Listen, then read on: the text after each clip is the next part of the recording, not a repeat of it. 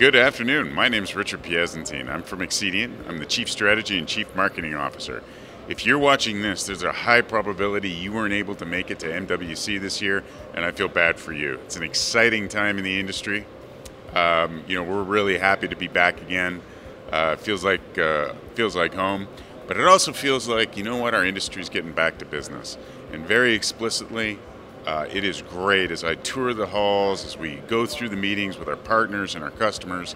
It's really, it's really refreshing to see uh, not only the enthusiasm to be back at it again, uh, but also the focus on really delivering on the promise of 5G. And if I can take just a moment for all of you uh, that are watching this today, uh, we have been talking about the promise of 5G, standalone, uh, advanced use cases, etc.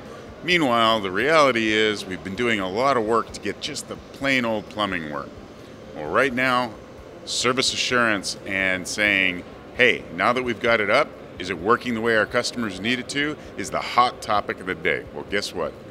Accedian is here to help. We've been talking about and developing a set of products related to service assurance across the stack, both vertically and horizontally for 5G standalone, as well as other uh, industry verticals.